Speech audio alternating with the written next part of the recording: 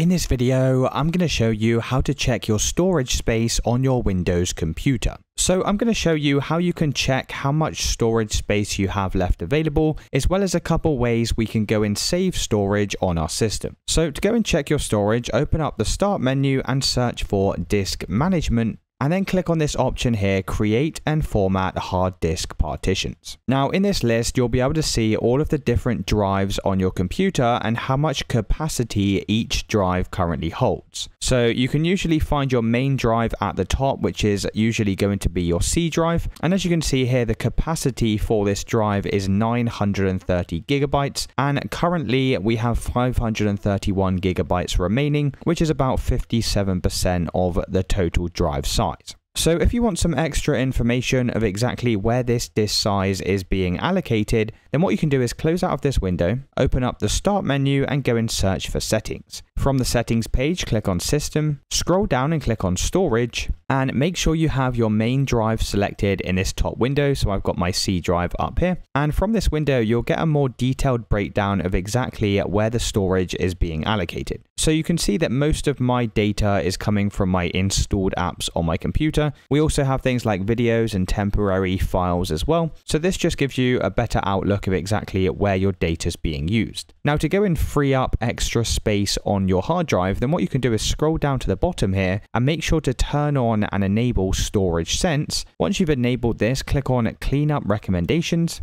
and you're just going to go through this list and check all of the boxes like so. Make sure you're happy to delete this information. Usually it's just temporary files and things like that. And if you're happy with this, you can go and click on the cleanup button. And as you can see, this will save me 15 gigabytes in storage space. If you did find this video helpful, then let me know in the comments and I'll see you in the next one.